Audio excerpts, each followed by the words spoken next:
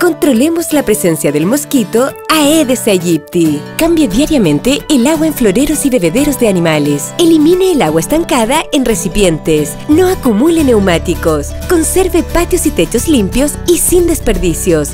Mantenga recipientes con agua siempre tapados. Nuestras casas limpias y nuestro norte sin mosquito. Más información en Salud Responde y minsal.cl. Ministerio de Salud, Gobierno de Chile.